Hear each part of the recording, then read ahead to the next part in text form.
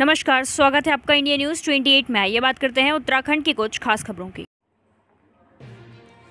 उत्तराखंड के सितारगंज ग्राम पांडरी की सैकड़ों महिलाएँ पहुँची उप जिला अधिकारी कार्यालय।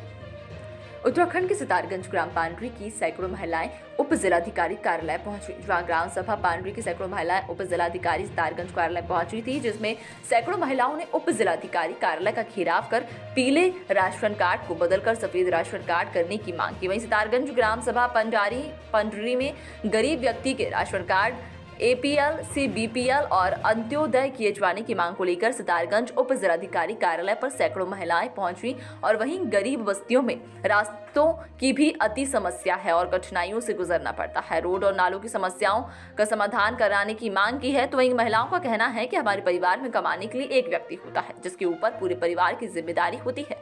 वहीं रास्ता गल्ला विक्रेता की दुकान पर जब राशन लेने जाते हैं तो पीले कार्ड से इतना महँगा राशन दिया जाता है, जिससे कि हम लोग राशन खरीदें या घर का भरण पोषण कर लें, ये हमारे लिए काफ़ी मुश्किल होता है।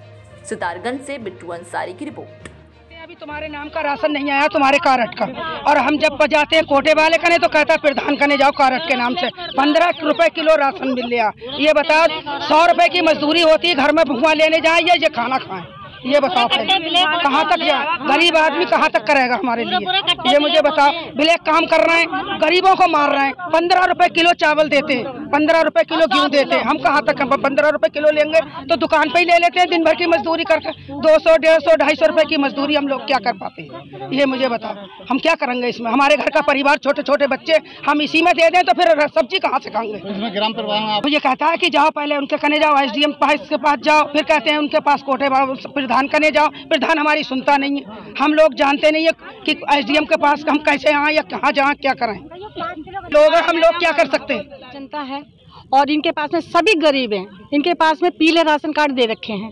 ये ये देखना है, इनकी इंक्वायरी बैठा ली जाए और पीले राशन कार्ड हटा के इन लोगों को सफ़ेद कार्ड बनाए जाए। इन लोगों को बताओ पंद्रह रुपए और सत्रह रुपए किलो नाज मिल रहा है अपने बच्चों को कैसे पालेंगे? पूरे पूरे, दिन की मेहनत करके बंदा अगर शाम को कमा के ला रहा तो उसकी कमाई तो पाँच किलो गेहूँ में खत्म हो जाती है। सरकार ने पैसे वालों को तो दे रखे हैं बीपीएल कार्ड और गरीबों को दे रखे हैं। एपीएल कार्ड तो ये तो कहीं की तरीका नहीं है भाई। इनका ये कहना है कि अगर वोट हम जब देंगे जब हमारे कार्ड बदले जाएँगे।